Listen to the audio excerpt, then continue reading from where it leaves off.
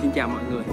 À, Mình đang có mặt ở quán cà phê 389 Và hôm nay sân bay Tân Sơn Nhất có một sự thay đổi rất là đặc biệt.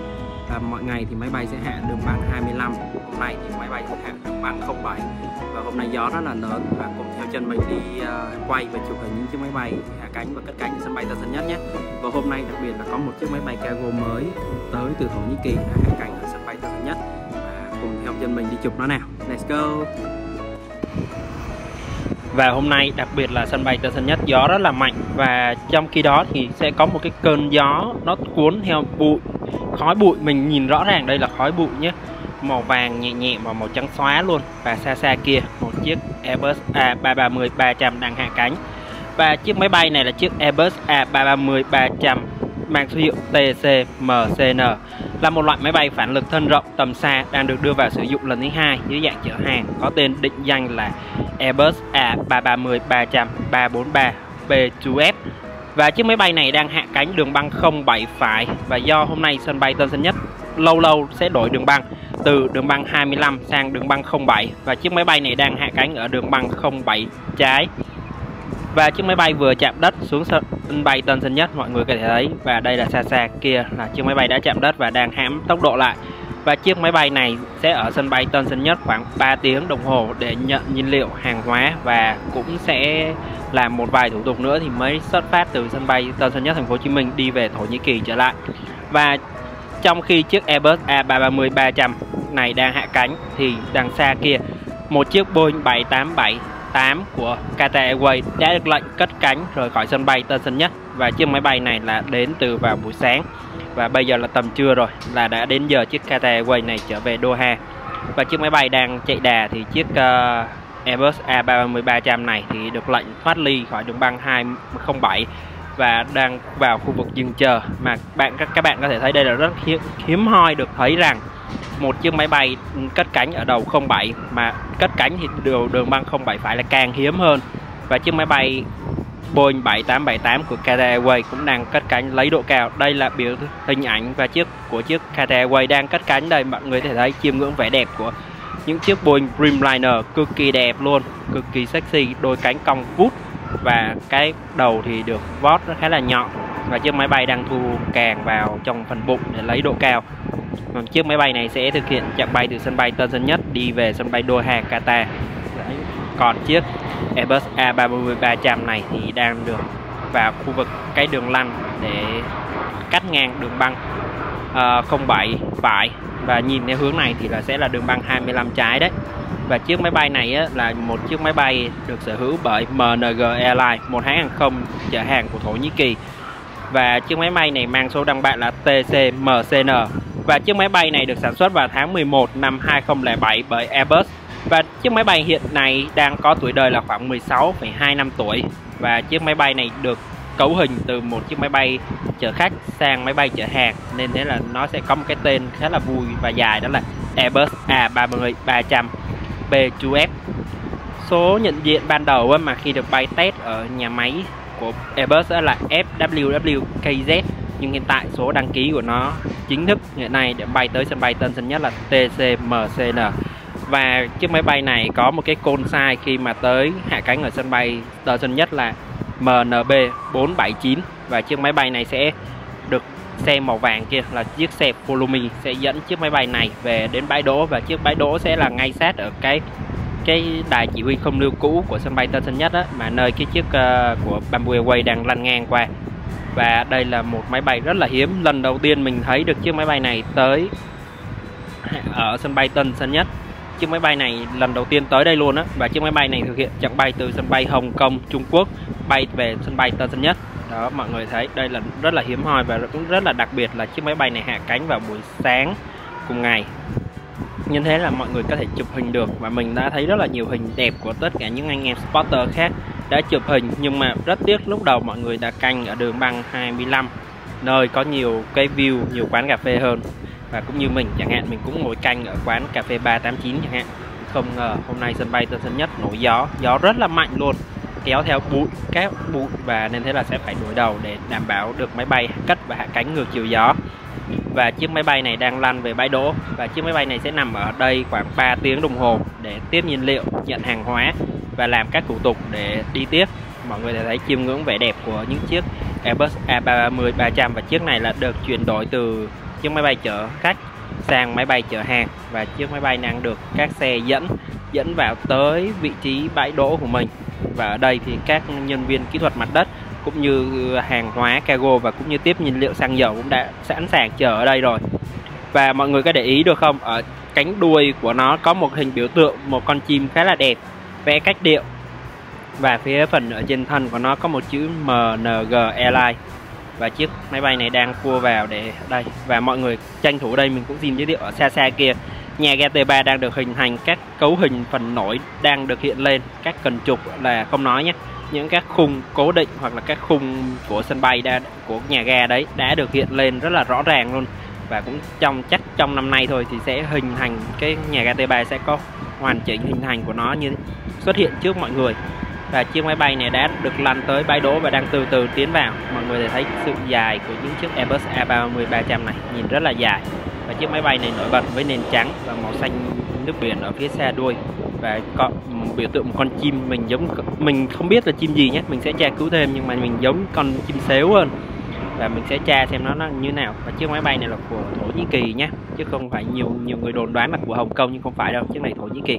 Và còn đây sau khi là chiếc các chiếc máy bay kia về bãi đỗ thì một chiếc máy bay khác đặc biệt hơn đó là chiếc Air France Boeing 777 200 IA đang cất cánh ở đường băng 2 à, đường không đường băng 07 phải và mọi người có thể thấy đây là những chiếc máy bay bay tầm rất là xa, bay từ sân bay Charles de Gaulle của Pháp, bay thẳng tới sân bay Tân Sơn Nhất, thành phố Hồ Chí Minh vào buổi sáng và bay cách ngày, chứ không phải ngày nào cũng có. Và chiếc máy bay này bay rất là đẹp và biểu tượng của Air France thì là biểu tượng của chất lượng. Và Vietnam Airlines và Air France là có những liên minh liên kết bay chặn bay giữa Việt Nam và Pháp và xen kẽ ngày ngày Pháp bay thì sẽ không có chuyến bay của Vietnam Airlines và ngược lại Vietnam Airlines thì sẽ có chuyến bay của Pháp và Air France và Vietnam Airlines là chung một liên minh hàng không đó là liên minh hàng không SkyTeam mọi người có thể thấy đây là chiếc Boeing 777-200 ea của Air France vừa được cất cánh khỏi sân bay Tân Sơn Nhất, thành phố Hồ Chí Minh hướng về sân bay Charles de Gaulle của Pháp. Và đây tiếp theo nữa một cảnh tượng mọi người sẽ rất là hiếm thấy. Một chiếc ATR-72 đang bắt đầu bước vào hạ cánh ở sân bay Tân Sơn Nhất và do là đổi đầu nên thế lần đầu tiên mình quay được những cái pha mà máy bay ATR-72 và các máy bay khác chạm đường băng và nhìn nó đẹp như thế này. Mọi hôm á, thì cất cánh và hạ cánh ở đường băng đầu 25 á, thì nhìn nó rất là bình thường. Nhưng mà hôm nay mình lần đầu tiên được thấy được cái cảnh tượng là chiếc ATR hạ cánh. Và đặc biệt hơn là mình thấy một cái cảnh tượng này nên mình quay này. Là sau khi chiếc ATR72 chạm đất và giảm tốc độ thì xa xa chiếc xa xa kia thì chiếc Air đã được lệnh cất cánh luôn. Cảm tưởng như là sân bay Tân sân Nhất có thể đáp ứng được các nhịp độ là vừa cất vừa hạ cánh song song được. Nhưng mà chỉ có những chiếc máy bay ATR nhỏ nhỏ hạ cánh thì những chiếc kia mới được lệnh cất cánh. Chứ còn không, bình thường mình thấy là khi mà máy bay giảm giảm độ cao hoặc là giảm tốc độ hoặc là phải thoát ly ra khỏi đường băng thì ở đường băng đối diện thì mới được lệnh cất cánh. Và Air kết nối giữa Việt Nam và các nước như Malaysia và Thái Lan và nhưng mà giờ này á, bay tới Việt Nam là những chiếc Airbus A320 bản thường và bản neo. Nhưng mà có nhiều thông tin cho rằng Air đang muốn thành lập một công ty và hoặc là trung chuyển ở Việt Nam mình. Và đây là những thông tin mà mình đọc được qua báo chí và hy vọng là hãng sẽ có mở được hãng bay ở Việt Nam mình. Và cũng qua đây cũng mình sẽ chia sẻ mọi người thấy được rằng hôm nay sân bay Tân Sơn Nhất nó mù cỡ nào luôn. Mọi người để thấy đây mọi hôm đường, mọi người có thể thấy trời rất là trong xanh, nhưng mà cái đoạn mọi người nhìn xa xa kia có thể thấy rằng rất là mù mịt luôn, mù trắng xóa luôn. Nhưng mà nhìn ở đây là mình đã quay cái điện thoại, cái máy quay của mình cũng không tốt lắm, nó quay không rõ đâu, nhưng mà ngoài trời là vàng khè luôn, vàng giống như bụi đất vậy á. Và đây là một chiếc Boeing 737 của China Airlines. Nhưng mà chiếc máy bay này mang côn sai của hãng Mandarin một hãng hàng không con của China Airlines. Và hãng hàng không này bay chỉ sau chiếc China Airlines thì sẽ hãng này sẽ tới bằng chiếc máy bay Boeing 737 của họ. Và chiếc máy bay Boeing 737 đã hạ cánh xuống sân bay Tân Sơn Nhất. Và mọi người thấy rất là đẹp và xa xa kia là cũng một chiếc Airbus 3320 đang chờ lệnh cất cánh. Và chiếc mọi người đừng nhìn những chiếc Boeing 737 thì mọi người hãy nhìn để phần động cơ của nó. Với mình á, thì cái động cơ của Boeing 737 á, nhìn nó hơi giống như bị móp giống ai đấm đấm từ trên xuống nó hơi giống hơi bị móp móp một tí. Nhưng mà thực ra động cơ của nó vẫn tròn nhé. Đây là một đặc điểm nhận dạng mà nhiều người rất là hay hài hước hay chọn cái dòng Boeing 737 này đó là động cơ bị móp ở giữa. Nhưng mà không chiếc động cơ đấy là vẫn còn đấy vẫn còn tròn lắm. Và chiếc Mandarin này đang thoát ly khỏi đường băng thì đằng xa xa kia Vietjet Air cất cánh. Mọi người có thể thấy liên tục liên tục những chiếc máy bay đang cất cánh và hạ cánh liên tục ở đây. Và chiếc máy bay này, Vietjet Airbus A321 này đang cất cánh. Rời khỏi sân bay Tân Sơn Nhất. Và Vietjet Air đang là một trong những hãng hàng không có nhiều máy bay ở Việt Nam, bay liên tục, bay hàng ngày luôn. Đưa những giá vé rẻ cho mọi người đi trong nước và quốc tế. Và mình cũng thường xuyên sử dụng dịch vụ của Vietjet Air đi nước ngoài, nhất là Malaysia vé siêu rẻ luôn mình không nghĩ là vé mà đi Malaysia mà đi bằng hãng hàng không Vietjet này là siêu rẻ, siêu siêu siêu rẻ luôn.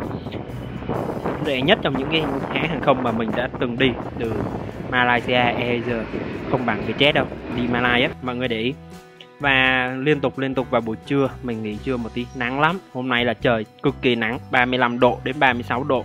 Nhưng mà thực tế bên ngoài có thể lên đến 37 38 độ, trời cực kỳ cực kỳ nắng gắt luôn mọi người hãy chú ý là mùa này thứ nhất đi ra ngoài đường nhớ đeo khẩu trang, thứ hai là nhớ uống thêm nhiều nước thì để đảm bảo cho sức khỏe của mình. Hôm nay trời nắng rất là gắt. Và đây, còn đây là sau khi là khoảng đây tầm khoảng một rưỡi chiều thì chiếc ATR 72 đang được lệnh cất hạ cánh xuống sân bay Tân Sơn Nhất. Và đằng xa xa kia là một chiếc Boeing 787 của Việt Nam Airlines đang dừng chờ chuẩn bị cất cánh rời khỏi sân bay Tân Sơn Nhất. Và chiếc máy bay Boeing 7 7879 Dreamliner này là chiếc máy bay VNA 865 có côn size là VN248 thực hiện chặng bay từ sân bay Tân Sơn Nhất, Hồ Chí Minh đi sân bay Nội Bài, thủ đô Hà Nội. Và mọi người có thể thấy được đằng chiếc ATR72 nhìn rất là bé, còn chiếc à, Boeing 787 nhìn rất là đẹp, hoành tráng, các đôi cánh của nó cong vút trở lên. Và chiếc máy bay này đang chạy đà và nhìn khá là nặng nề, đúng không? Và với cái chặng bay giữa thành phố Hồ Chí Minh và Hà Nội, thủ đô Hà Nội á là một chặng bay cực kỳ nhộn nhịp luôn. Và mình ước tính chắc phải là tiếng, nửa tiếng thì sẽ có một hãng hàng không bay chặng bay này. Và số vé và số hành khách trên chuyến bay này là cực kỳ đông luôn. Và chiếc máy bay đã cất cánh. Và đây, mọi người thể thấy dưới đất thì mù, ở ngoài trên trời thì nền trời rất là xanh xanh xanh xanh mướt luôn. Còn đây, sau khi chiếc China Southern hạ cánh thì tới lượt chiếc Eva E Boeing 777-300ER cũng thực hiện chặng bay giữa sân bay Tân Sơn Nhất thành phố Hồ Chí Minh về sân bay của Đài Loan Trung Quốc và chiếc Boeing 777-300 này là thường xuyên với những ai yêu thích chụp hình hàng không và yêu thích hãng Eva á, thì không xa lạ gì những dòng máy bay Boeing 777-300ER của hãng. Hãng thường xuyên có những chuyến bay vào buổi trưa, buổi chiều và buổi tối kết nối giữa Việt Nam và Đài Loan, Trung Quốc. Và chiếc máy bay này đang chạy đà cất cánh ở trên đường băng 07 phải. Và theo đây là 07 phải theo hướng nhìn nhé, chứ đường băng này là đường băng 25 trái 07 phải. Và cái đường băng mà mọi người có thể thấy mọi người hàng ngày ở đường băng 25 còn đường xa xa kia là đường 07 và chiếc máy bay đang bay cất cánh lấy độ cao ngang qua đài chỉ huy sân bay Tân Sơn Nhất. Và mọi người thấy bầu trời vào buổi chiều nay rất là xanh xanh xanh biếc luôn. Nắng thì rất là vàng, rực rỡ, nhưng mà nóng cực kỳ. Mình cảm tưởng là hôm nay cực kỳ là một ngày siêu nóng và cái tiêu UV nó chiếu xuống nóng nóng cực kỳ nóng luôn. Và mọi người hãy chú ý ra đường thì hãy chú ý mang theo đồ đạc mỏng nóng và kem dưỡng da thì cho là tốt. Và cuối cùng, sau khoảng đến vài tiếng chờ đợi thì chiếc MNG Airlines này chiếc cargo đã bắt đầu được lệnh ra đường băng 207 để chuẩn bị cất cánh về sân bay Thổ Nhĩ Kỳ. Và hiện tại chiếc MNG Airlines này là hãng hàng không Thổ Nhĩ Kỳ, mình thấy là hình như nó chỉ là bay cố tình, vô tình nó tới. Lâu lâu lắm thì nó sẽ có và chiếc máy bay này đang cất cánh và lấy độ cao rời khỏi sân bay Tân Sơn Nhất. Và đến đây cũng là kết thúc video này hôm nay rồi. Và cảm ơn mọi người đã theo dõi video ngày hôm nay. Và chúc mọi người một ngày thật là vui vẻ. Một ngày 8 tháng 3 thật là vui.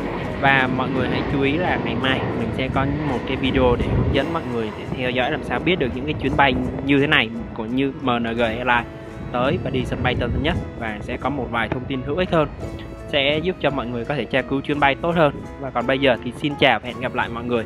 Chúc mọi người một buổi tối vui vẻ.